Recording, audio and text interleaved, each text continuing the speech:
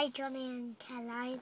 Um, I did the Dulwich prep test and I did it and I won um, a head teacher sticker and I was so exciting that I got in. Nestor got into Dulwich Prep. They loved him and he's so excited and we're sitting outside in the car at the moment and the teacher said he was really polite and kind and there were a few things that he needed to learn over the holidays and that she could tell there was a huge difference between Honeywell and what they know at Dulwich Prep but but that he would be absolutely fine. And he's really Nestor did you did you like the school? Just tell a bit about the school. Um, I really liked it.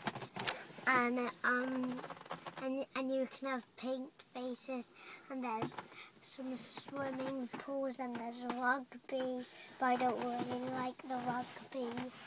okay and, and say bye Johnny Caroline Bye, Love Johnny you. and Caroline. I